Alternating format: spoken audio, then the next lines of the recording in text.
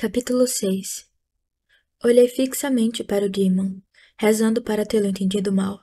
Porém, o profundo desespero e a insinuação de fúria em seus olhos, ultra cintilantes, me disseram que não. Sinto muito, disse ele. Não, eu entendo. Joguei o cabelo para trás. O que você quer que eu faça? Eu tenho que ir. Pegou as chaves do carro no bolso e as entregou para mim.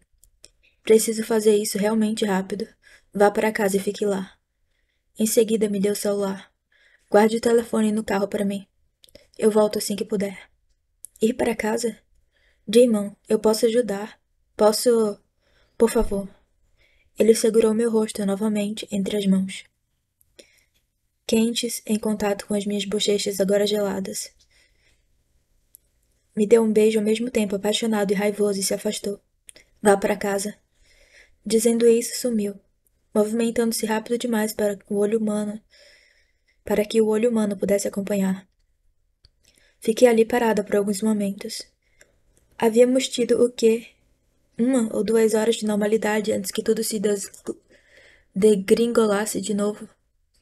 Fechei a mão, com força, em volta das chaves, sentindo o metal afiado se enterrar em minha palma. Um encontro interrompido era o menor dos meus problemas. Merda. Girei nos calcanhares e dei a volta no carro. Entrei e ajustei o banco da posição de Godzilla para a de normal, a fim de que meus pés alcançassem os pedais. Vá para casa. Havia dois lugares para onde Dawson poderia ter ido. Na véspera, Dimon tinha me dito que o irmão tentara ir até o prédio comercial onde estivera sido mantido, sendo mantido antes de escapar.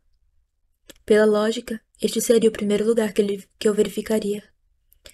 Vá para casa e fique lá. Saí do estacionamento, as mãos apertando o volante com força. Se eu fosse para casa agora e esperasse lá como uma boa menina, podia ficar me enros... podia me enroscar no sofá e ler um livro. Escrever uma resenha e comer pipoca. E quando Demon chegasse, se nada horrível tivesse acontecido, eu me jogaria nos braços dele novamente. Ao me pegar virando à direita em vez de à esquerda, ri comigo mesma. O som soou baixo e rouco, cortesia das minhas cordas vocais arruinadas aliado a uma profunda ansiedade. E para casa, até parece. Não estávamos mais nos anos de 1950. Eu não era uma humana frágil, e com certeza não era a mesma Kate que o Dimon conhecera inicialmente. Ele ia ter que aprender a lidar com isso. Enfiei o pé no acelerador torcendo para que os carinhas de uniforme azul estivessem ocupados fazendo qualquer outra coisa que não monitorando os trânsitos. Sabia que jamais conseguiria chegar antes do Demon, mas, se por acaso eles se deparassem com problemas, eu poderia proporcionar uma distração ou algo do gênero. Poderia fazer alguma coisa. Quando estava na metade do caminho, captei um flash de luz branca pelo canto do olho, bem atrás da fileira de árvores que ladeavam a estrada. Ela então surgiu de novo, uma luz branca com contornos vermelhos. Meti o pé no freio e virei o volante para a direita, a traseira do carro derrapando até ele parar, um tanto torto junto ao acostamento. Com o pulso a mil, liguei o pisca-alerta e abri a porta. Atravessei correndo as duas pistas, deslizando pelo asfalto até conseguir pular o meio-fio do outro lado e reencontrar tração.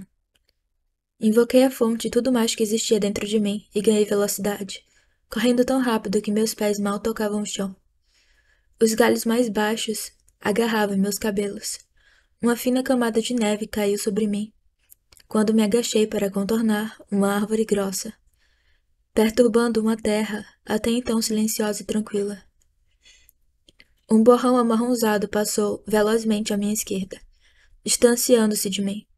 Provavelmente um cervo, ou, conhecendo a minha sorte, o chupacabra.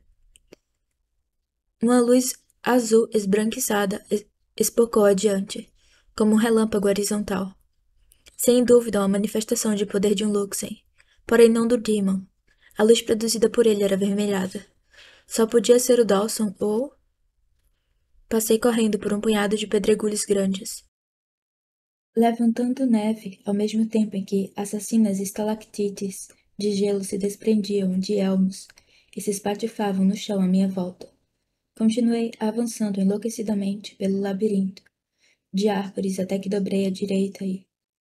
Lá estavam eles, dois Luxem brilhando como vagalumes. E eles estavam. Que diabos? Parei de subetão e inspirei fundo. Um era mais alto. Um ser de luz branca, debruada de vermelho. O segundo era mais esguio, com seu brilho azulado, um pouco menos intenso. O maior, que só podia ser o Demon, mantinha o outro no que me pareceu ser o mata-leão. Reluzente, ainda assim, mas ainda assim o mata-leão, do tipo que eu já vira sendo usado em disputas de MMA. Agora podia dizer oficialmente que já vira de tudo. Partindo do pressuposto de que o outro era o Demon, o gêmeo do Demon lutava bem conseguindo se desencilhar do irmão e empurrá-lo para trás. Demon, porém, o envolveu pelo centro do luminoso corpo, o ergueu no ar e caiu com tudo sobre ele. Um golpe tão forte que fez com que outras estalactites de gelo se desprendessem das árvores ao nosso redor. Dawson piscou e feixes de luz aluzada, azulada, ricochetearam nos troncos das árvores, quase acertando os dois. Ele tentou empurrar o irmão para cima dele. Pelo menos foi o que pareceu. Mas Demon estava em vantagem. Cruzei os braços tremendo de frio. Vocês só podem estar brincando. Os dois alienígenas, esquentadinhos, congelaram. Senti vontade de me aproximar e chutá-los. Um segundo depois, a luz de ambos se apagou e os olhos ainda incandescentes do Demon se voltaram para mim. Achei que tivesse dito para você ir para casa e esperar lá. Falou ele, numa voz um pouco fina, esbanjando censura. Até onde eu sei, você não manda em mim. Dei um passo à frente, ignorando o modo como os olhos dele se acenderam ainda mais. Olha só, eu estava preocupada. Achei que devia vir dar uma mãozinha. Ele contraiu os lábios numa espécie de careta. E como você pretendia fazer isso? Acho que já fiz. Consegui que os dois idiotas parassem de brigar. Jimmy me fitou por um longo instante, o olhar prometendo que mais tarde teríamos problema. Talvez algo que merecesse uma punição. Não, melhor esquecer. Aquele olhar não prometia nada divertido. Me solta, irmão. Ele baixou os olhos para o Dawson. Não sei, não. Você provavelmente vai fugir correndo e me obrigar a persegui-lo de novo. Você não pode me impedir, retrucou Dawson, a voz assustadoramente apática. Os músculos sob o suéter do Demon se retesaram. Posso e vou. Não vou deixar fazer isso consigo mesmo. Ela. Ela o quê? Ela não vale o sacrifício? Ela não ia querer que você fizesse isso. Demon ficou ainda mais agitado. Se a situação fosse invertida, você também não ia querer. Dawson recuou um pouco, abrindo espaço suficiente entre eles, entre os dois, para que pudesse se levantar. Uma vez de pé, eles trocaram um olhar apreensivo. Se eles tivessem capturado a Kate. Não começa. Demon crispou as mãos ao lado do corpo. O irmão não pareceu nem um pouco afetado. Se eles a tivessem capturado, você faria a mesma coisa, não minta.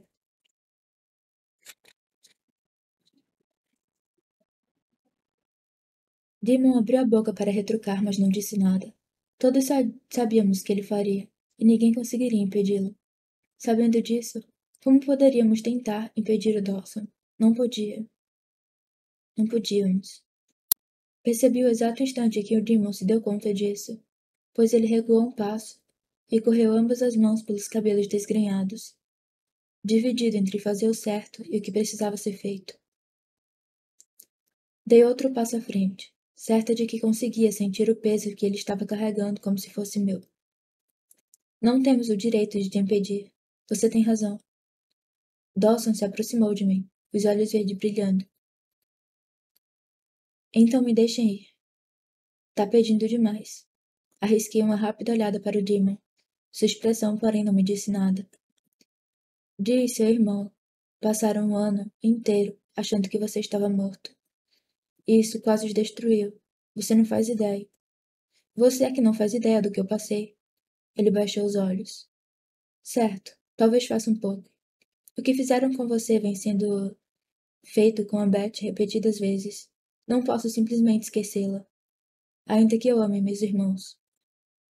Escutei Dimon inspirar fundo.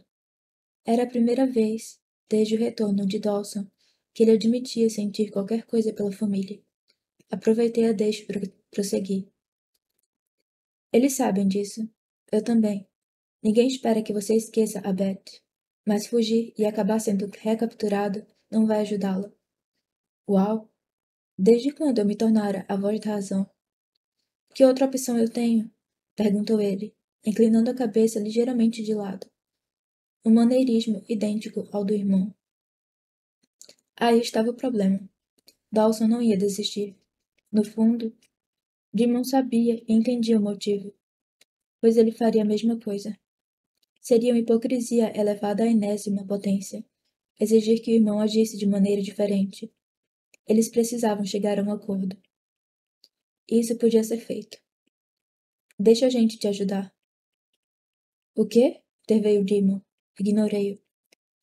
Você sabe que enfrentar o DOD não vai dar certo. Precisamos descobrir onde a Beth está, se eles estão mantendo-a aqui ou não. E precisamos de um plano para resgatá-la. Um plano bem pensado e com pouca chance de fracasso. Os dois me fitaram. Prendi a respiração. Esse era o ponto. De forma alguma o Dimon conseguiria ficar de olho no irmão pelo resto da vida. Não era nem mesmo justo exigir isso dele. Dawson se, vi se virou de costas, a coluna rígida. Vários segundos se passaram. O silêncio quebrado apenas para uivos, pelos uivos do vento que açoitavam as árvores e levantava a neve. Eu não consigo suportar a ideia de que eles estão com ela. Dói só de pensar. Eu sei, murmurei. O luar incidiu através dos galhos, envolvendo o rosto do Demon numa luz dura. Ele não tinha dito mais nada, mas era possível perceber que a raiva emanava de seu corpo. Será que meu namorado achava que Podia continuar vigiando o irmão pelo resto da vida? Se achava, então estava louco. Por fim, Dawson assentiu. Tudo bem. Fui invadida por uma onda de alívio que me deixou com as pernas bambas. Mas você tem que prometer que, vai no, que nos vai dar algum tempo. Tudo se resumia a tempo, algo do qual não dispunhamos. Você não pode ceder à impaciência e fugir. Jure que não vai fazer isso. Ele me encarou e um calafrio percorreu meu seu corpo, levando consigo toda a disposição de lutar. Enquanto permanecia parado ali, a tensão se desfez, até que seus braços penderam inertes ao lado do corpo. Eu juro. Se vocês me ajudarem, eu juro. Seguiu-se um momento de silêncio, como se a vegetação à nossa volta estivesse registrando meu acordo e a promessa dele, guardando-os na memória. Em seguida, imersos numa atmosfera tensa e silenciosa, nós três voltamos para o carro. Meus dedos pareciam picolés ao entregar as chaves para o Dima. Dawson se acomodou no banco de trás. Apoiou a cabeça no encosto e fechou os olhos. Lancei alguns olhares de relance para o Demon, esperando que dissesse alguma coisa, qualquer coisa, mas ele manteve os olhos fixos na estrada, seu silêncio soando como uma bomba relógio. Arrisquei uma olhadela para trás. Dawson observava o irmão por trás dos cílios semicerrados. Ei, Dawson. Seus olhos se voltaram para mim. Que foi? Você não quer voltar para a escola? A escola manteria ocupada enquanto pensávamos em como diabos iríamos resgatar a Beth. Além disso, combinava com o plano do Demon de fingir que tínhamos enganado o D.O.D. e nos dava a chance de ficar de olho no Dawson, para caso ele querer quebrar a promessa. Tenho certeza de que, se você quiser, é possível. Você pode dizer a todo mundo que tinha fugido. Essas coisas acontecem. As pessoas acham que ele está morto, interveio Dimon. Estou certa que a maioria das pessoas que fogem é dada como morta, apesar de não estarem, argumentei. Dawson pareceu ponderar o assunto. E o que vou dizer a ela sobre a Beth? Sobre a Beth. Boa pergunta. A voz do Demon esbanjava desafio. Parei de roer a unha. Que vocês fugiram juntos, mas que res você resolveu voltar para casa e ela não quis. Dawson se inclinou para a frente e apoiou o queixo entre as palmas. É melhor do que ficar sentado, pensando sobre tudo. Sem dúvida. Isso só serviria para deixar louco. Deixá-lo louco. Ele teria que se rematricular de novo. Se matricular de novo. Dimon falou, tamborilando os dedos no volante. Vou conversar com Metzel, ver o que a gente pode fazer. Animada pelo fato de Demon finalmente estar aceitando a ideia, recostei no banco e sorri. A crise fora contornada. Se ao menos eu pudesse resolver outros problemas com a mesma facilidade. Quando encostamos o carro na entrada da garagem, Dee estava na varanda, com Andrew parado ao seu lado como um sentinela. Dawson soltou e foi ao encontro da irmã. Saltou. Eles trocaram algumas palavras que não conseguia escutar e em seguida se abraçaram. Era um tipo de amor maravilhoso, diferente do que meus pais haviam compartilhado, mas ainda forte e inabalável. Mesmo que eles pusessem uns aos outros no verdadeiro inferno. Achei que tivesse dito para você vir para casa. Eu não havia percebido que estava sorrindo até que o sorriso se apagou ao escutar a voz do Demon. Virei-me para ele e, me sen e senti meu coração despencar. Chegara a hora de enfrentar o problema que ele me prometera mais cedo. Eu tinha que ajudar. Ele olhou. Ele fixou os olhos no para-brisa.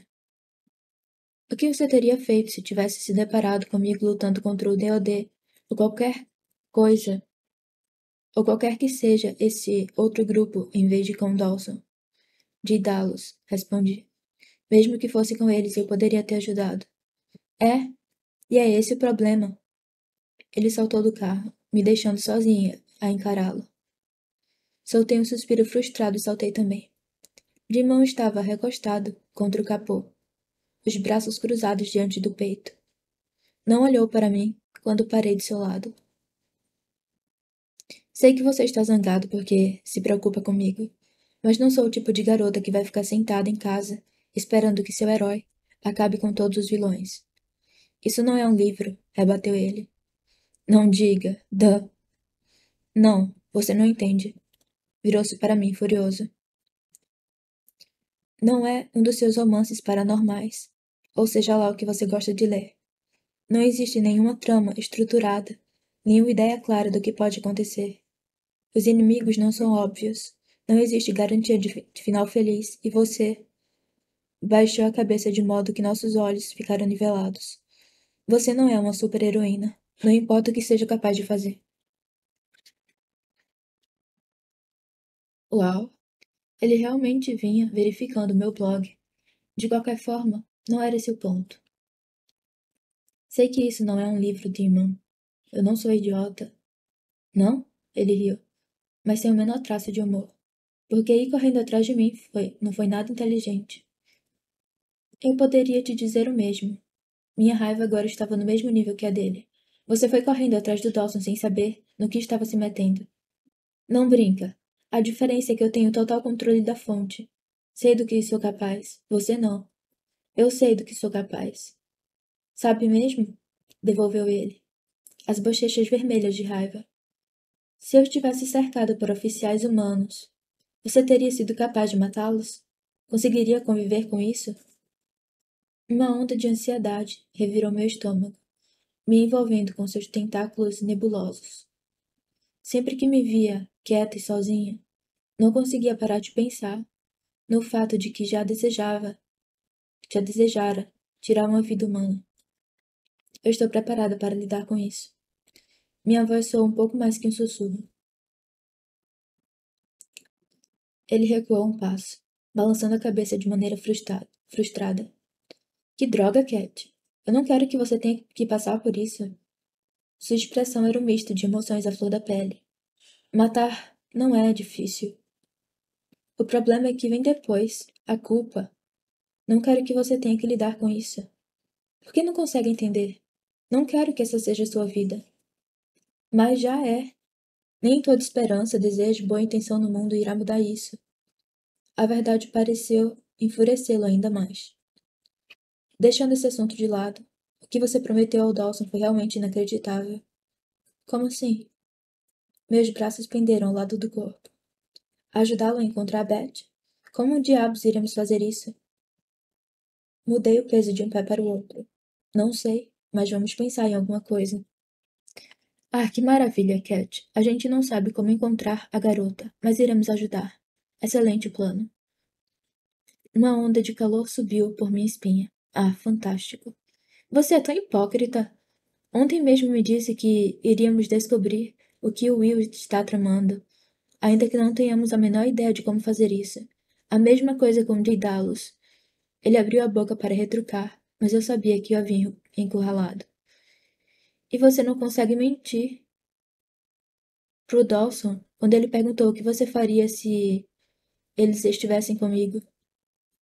Não acho que é o único que tem o direito de tomar decisões idiotas e impensadas. Damon fechou a boca. Esse não é o ponto. Arqueei uma sobrancelha. Péssimo argumento. Ele deu um passo à frente e disse numa voz irritada: Você não tinha o menor direito de prometer nada ao meu irmão. Ele não é da sua família. Eu me encolhei e recuei um passo. Teria sido melhor se ele tivesse me dado um tapa. Aos meus olhos, pelo menos havia conseguido afastar o Dawson da beira do penhasco. Claro que prometer ajudá-lo para encontrar Beth não fora o ideal. Mas era melhor que deixá-lo ir sozinho atrás dela como um viciado atrás da droga. Tentei controlar a raiva e a decepção, pois entendia de onde vinha aquela fúria. Dreamon não queria que eu me machucasse, e além disso, estava preocupado com o irmão. No entanto, sua necessidade nata, quase obsessiva de proteger a todos, não era desculpa para agir como um babaca. Dawson é problema seu sim. Mas isso faz dele um problema meu também. Falei. Estamos juntos nisso. Seus olhos encontraram os meus. Não em tudo, Cat. Sinto muito, mas é assim que é. Senti a garganta queimar e pisquei várias vezes para conter as lágrimas, ainda que meu peito estivesse doendo terrivelmente. Se não estamos juntos em tudo, então como podemos ficar realmente juntos? Minha voz falhou. Não vejo como isso é possível. Seus olhos se regalaram. Cat. Fiz que não, sabendo onde a conversa iria terminar. Se ele não estivesse disposto a me ver como algo além de um pedaço frágil de porcelana, estaríamos condenados. Afastar-me dele foi a coisa mais difícil que fiz na vida. Pior ainda, pelo fato de que ele não tentou me deter. Esse não era o seu estilo. No entanto, lá no fundo, embora eu não esperasse que ele fosse fazer isso, eu queria. Precisava que fizesse. Mas ele não fez.